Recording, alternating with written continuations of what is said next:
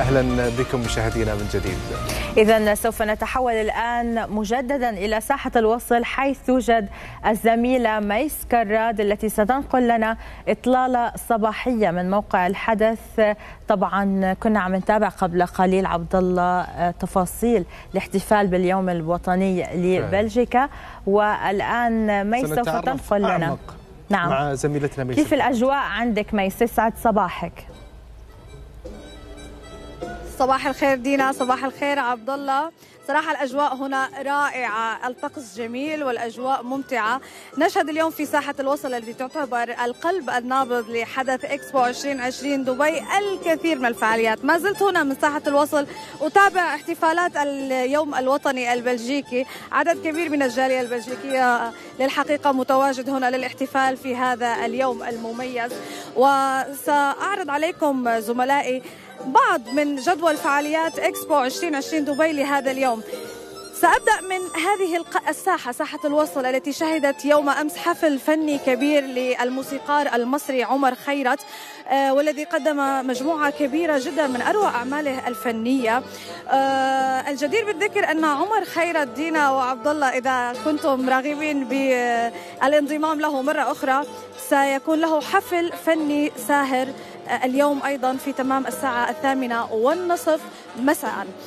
أيضا سيكون الكثير من الفعاليات الترفيهية والعائلية بما أننا نشهد عطلة نهاية الأسبوع. وهذه الفعاليات تناسب مختلف الأعمار. هنالك عروض رياضية للدراجات الهوائية وهنالك أيضا العديد من الفعاليات الترفيهية كعروض رقص التانجو التي ستكون في ساحة البحر في تمام الساعة الرابعة. وهنالك عرض آخر في تمام الساعة الخامسة وهو عرض لمحترفين أبطال العالم في التانجو. على منصة الأرض في تمام الساعة السابعة مساء زوار إكسبو أيضا على موعد مع الاستمتاع بروعة الثقافة الماليزية الغنية والآسرة مع العرض الثقافي ماليزيا آسيا الحقيقية.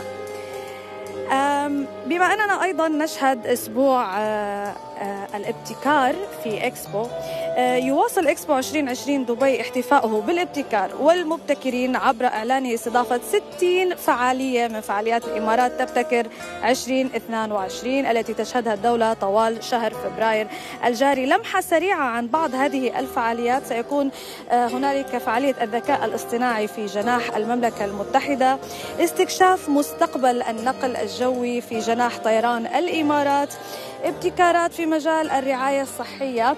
والكثير الكثير من الفعاليات التي من شأنها الحديث عن مستقبل الابتكار في الإمارات. دينا وعبد الله الفعاليات في في إكسبو هذا اليوم صراحة أكثر من من رائعة.